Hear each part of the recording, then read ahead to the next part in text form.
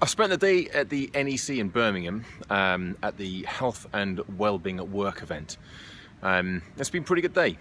It, I, I, actually applied to speak at it. Well, not apply. I got in touch with the event organisers back in September, and they said that they'd um, already finalised their schedule and uh, were due to release it in November.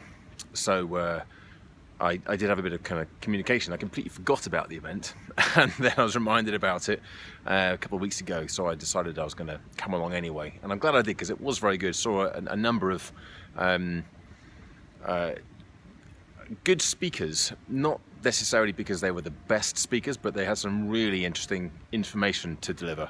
Um, some very, uh, very, um, what's the word?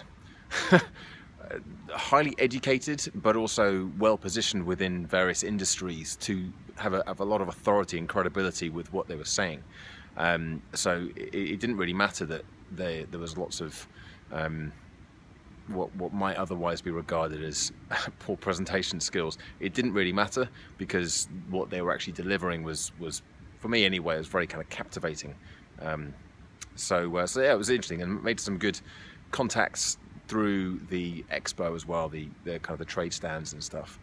Um, it was worth coming up. Do I want to speak at it next year? Do I want to kind of go down that road? I spoke to uh, Diana, the um, agent, yesterday about about it, kind of to get her two pennies worth about what she thought about speaking at events like this, and um, she didn't seem to think that it was it was a you know not not necessarily a bad idea, but also it wasn't going to be a um, a game changer to to speak at an event like this, more of a kind of an ego stroking thing, which, if I'm honest, was probably more of what I was, not necessarily the ego stroking, but certainly um, to be able to say, I've spoken on this platform at this stage, and said, well, you know, you don't really have to to be going down that road in order to um, to, to be, have a successful speaking career. So anyway, um, a good day heading back now. Um, there are still some sessions going on, but I'm pretty tired, and uh, I feel like I've got, got massive value already from the day, um, and I've I've done that before where I've just stuck at it and been to more and more and more, and uh, didn't want to miss out miss out on anything.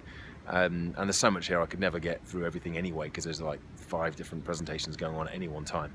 Um, but uh, whenever I do that, whenever I try cram it all in, then it does nearly always end up in um, just overwhelm and inaction. So I've got some good notes. I'm going to go through that on the train on the way back, and um, see what I can put together in terms of a review of the event and um, some actions as to what I'm going to do next. Righto, catch you soon. Bye for now.